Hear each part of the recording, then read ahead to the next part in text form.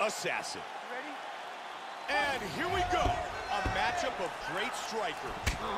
White trunks for Assassin. Black trunks for Assassin.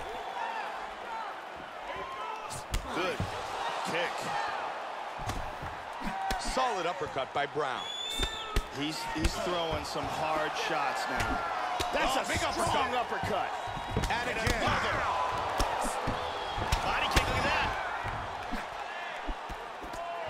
Powerful left hand. Big combination. Hard Oh, jab. he caught him early. Big shots. Whoa! Oh! It is all over!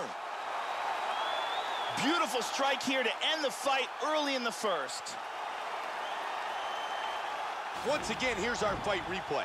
As we can see here in the replay, this is the huge overhand punch that shut the lights out. Let's take one more look at this overhand right on the money, and the fight is over as soon as it lands. Check it out here. Boom! Right on the button. With the official decision, here is Bruce Buffer.